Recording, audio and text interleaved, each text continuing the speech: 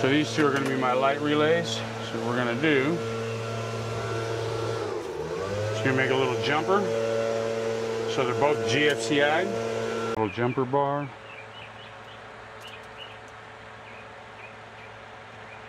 So all it's doing is moving power from one relay to the next.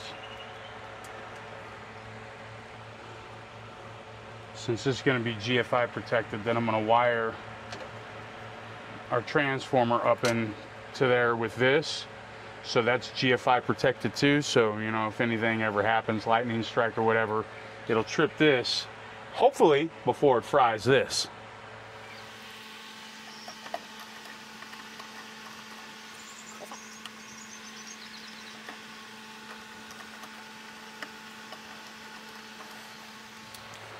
So now we can power up our lights separately.